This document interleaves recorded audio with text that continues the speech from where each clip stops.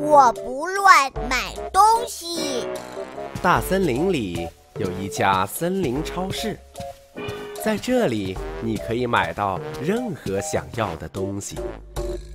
我要去买一些水果。妈妈，我的蜡笔用光了。和妈妈一起去森林超市吧。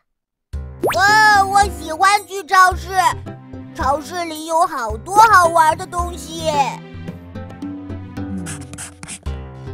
我们说好了，妈妈只买一袋水果，竹兜只买一盒蜡笔，我们都不乱买东西，好吗？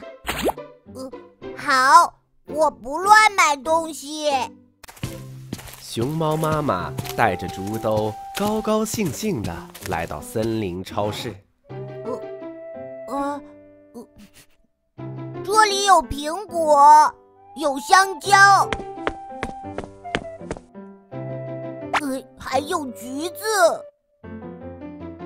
呃，嗯，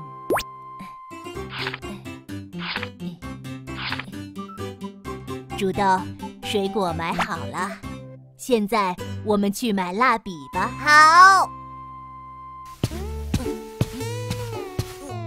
找到蜡笔了，真开心。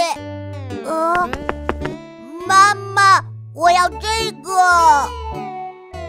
竹豆，不能乱买东西。不，我要，我要。我还从来没有过这么大的火车呢。竹豆。你已经有很多玩具了，而且其中就有一辆电动火车，你不能再买新的火车了。可是我的火车没有它漂亮，而且我的火车不能发出这样的声音。哎，竹豆，出门的时候我们说好了，不乱买东西。只买蜡笔和苹果。这次我们可没有计划买电动火车哟。可是我还是想买这辆电动火车。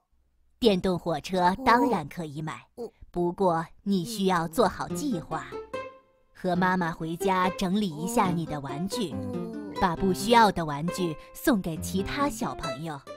这样下次来超市的时候就可以买电动火车了。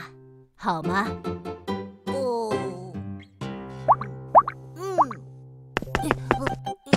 熊猫妈妈你好，快来看看这些漂亮的香水吧！啊，这些香水真是太漂亮了。这是最新款的香水，您一定会喜欢这种香水的味道，快来闻一闻吧！啊，而且。这种香水真好闻，呃，这种也不错，每一种我都想要。妈妈，我们说好了，只买水果和蜡笔，不乱买东西。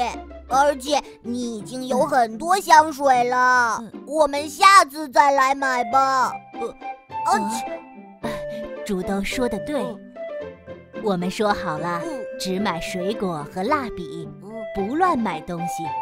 我们都要遵守约定。现在我们回家吧。嗯，回家喽。